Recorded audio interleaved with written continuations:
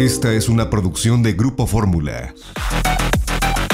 Bien, ayer hablé en este programa sobre los retos que enfrenta la economía en 2024, la economía mexicana, pero hoy quiero, quiero estar de más optimista. Eh, voy a hablar sobre las oportunidades de empleo que va a ofrecer la economía mexicana, porque el nearshoring despega para muchos especialistas este año. Aquí tengo unos datos.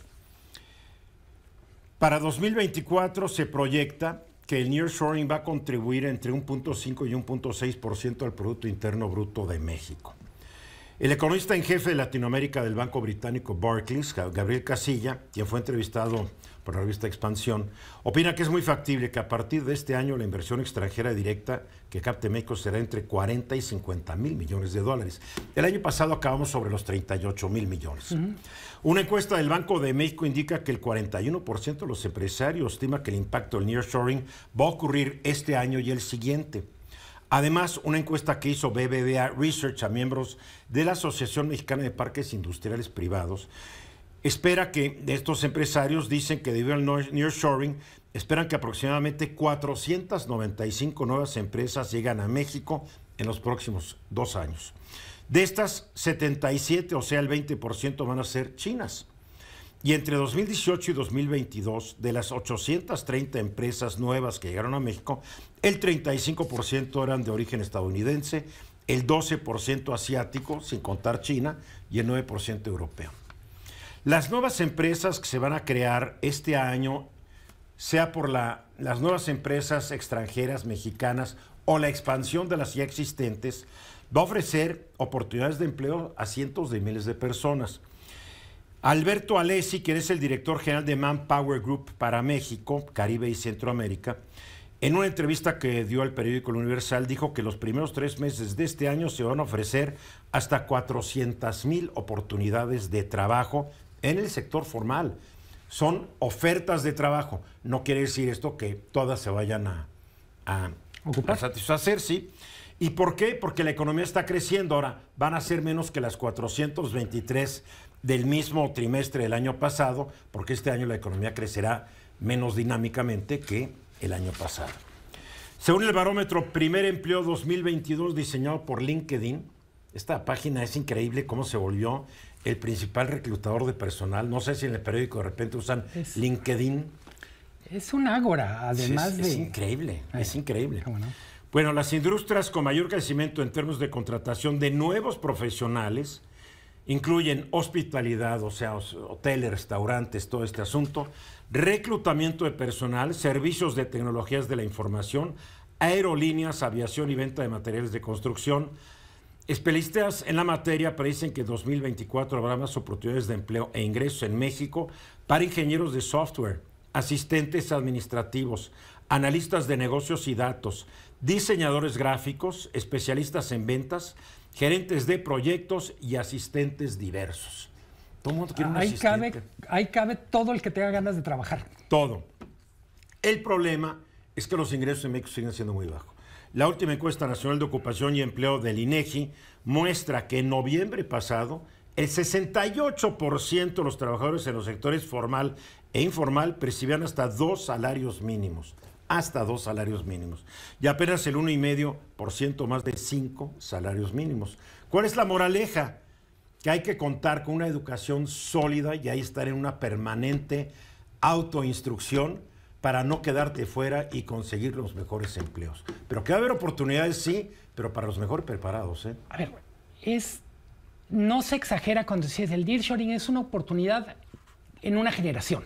En una generación. Eh, y para ponerlo en términos muy simples, no es blanco o negro, no es lo aprovechamos o lo desaprovechamos. Hay un montón de grises y es qué tanto nos acercamos al mejor escenario o nos alejamos del peor creo que es uno de los grandes temas de los que yo esperaría que las candidatas presenten su propuesta para el nearshoring. Pues ya cuando empiecen sus campañas, eh, sus campañas de Adebis, porque ahorita, han sido de Amentis. Porque en buena medida es algo que va a ocurrir en el próximo sexenio.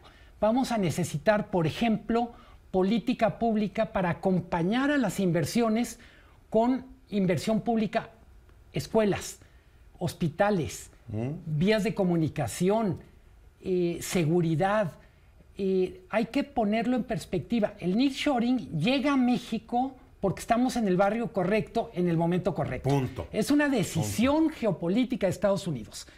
De ahí... Y de China. Y de este famoso divorcio. Claro. De este divorcio, el gran ganador en un primer lugar de la fila es México. ¿Qué tanto le toque? Va a depender de lo que sí hagamos. ¿Qué cambiamos? Una cosa que, por ejemplo, para mí es relevante, cuando escuchaba las carreras, que necesitamos otro CONACIT, otra Secretaría de Educación Pública. Y, necesitamos, y necesitamos poner en orden el sistema educativo, porque hoy sale gente de las universidades y no saben escribir. Mm. Porque yo hablo con maestros, hablo con funcionarios, me dicen, la verdad es que pasamos a todos, así te lo dicen. Porque tenemos que desocupar las bancas para los que vienen. Bueno, eso no es un sistema educativo serio. A ver, hay veces saben escribir, pero no saben leer en el sentido de comprensión de lectura. También. No saben sumar. También. No saben analizar.